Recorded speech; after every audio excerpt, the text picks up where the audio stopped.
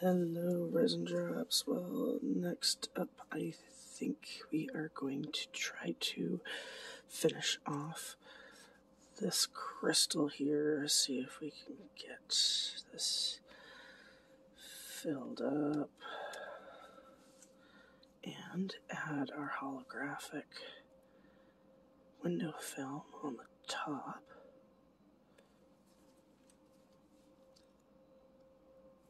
I see what's going on here. We just need some on this side. There we go. And like it's not even there. So I think I have got a little piece here that I'm gonna kind of snippy snip.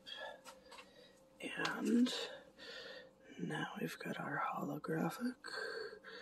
Just gonna make sure that I got the correct side and